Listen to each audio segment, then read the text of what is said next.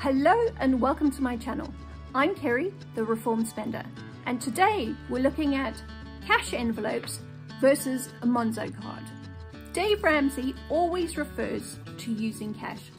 Once all your standing orders or your direct debits or your direct payments are in place, you then, at the beginning of each month, remove the amount of cash you will need throughout the month in order to live.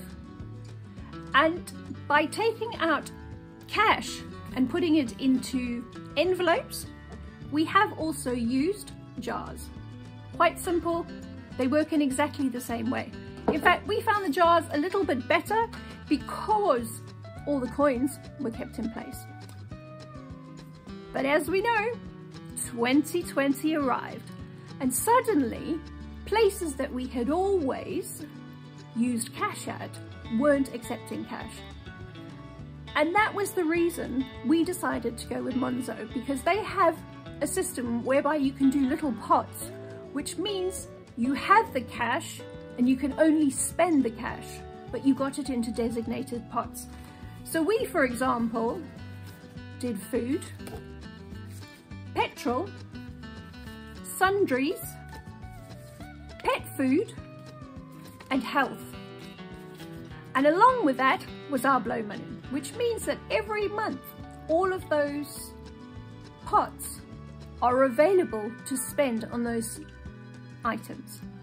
Initially, we were a bit concerned about using the Monzo system because statistically, you spend approximately 22% more if you pay with a plastic, even if it's a debit card, than you do if you're actually handing over cash. Psychologically, there's an impact of parting with your hard-earned cash.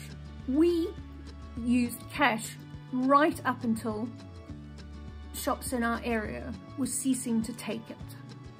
And there were a number of occasions where we went to pay for something and we couldn't.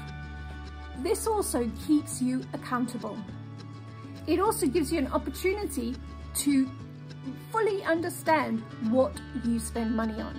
Because once I knew my really weak areas, crafts, I knew that any money that was allocated to me was limited. And by having the physical cash, it clearly showed how much I was spending. And the advantage of doing it is it teaches the whole family how to budget. So when we started doing this process, my son was 15 and he is a natural saver and that is how he functions.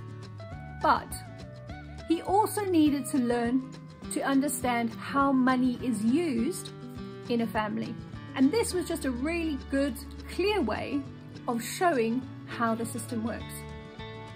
But the family bank account for bills remains completely separate. Because for me, it was a little bit easy to go, oh, well, you know, there's, you know, there's money there. With cash, it doesn't work like that. And so we continue to do it. And with the Monzo system, you can set up little pots and all of the pots are then allocated for specific items. And I must admit, it's worked a lot better than we had anticipated. And by it not being a direct debit, by it not being linked to our billing account, it just safeguarded the money for bills and the money that we need to spend each month to survive.